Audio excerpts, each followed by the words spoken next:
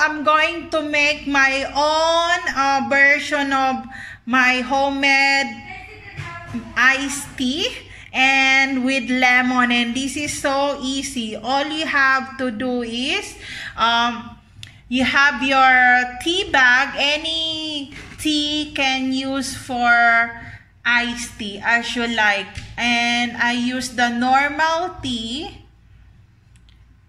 And then lemon sugar and the hot water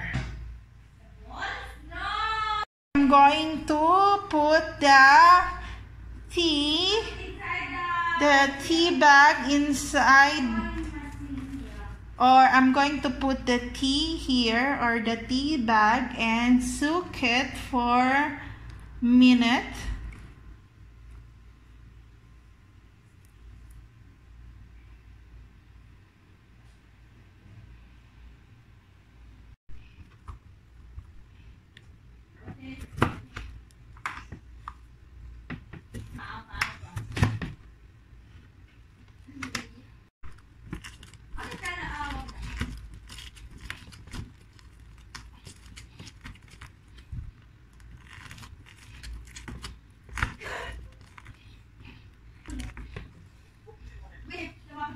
So now I'm going to remove the tea bag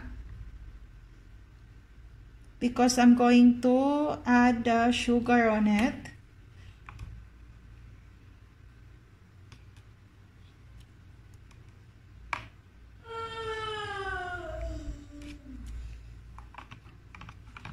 So now I'm going to put the sugar and mix it.